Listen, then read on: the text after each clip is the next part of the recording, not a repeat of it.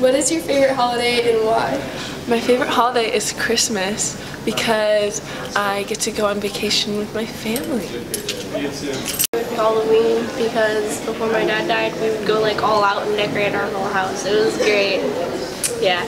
It's Halloween because I love to dress up and decorate the house for Halloween, and it's just a really fun holiday to eat candy. Probably Halloween because me and my dad always celebrated it and we like to scare people in our yards. Thanksgiving because I get to eat a lot of food. Probably Christmas, mainly because it's just the coldest time of the year and I just really like the cold. That's about it. Columbus Day because that's when Christopher Columbus came over. Probably Christmas because I like spending time with family and getting presents.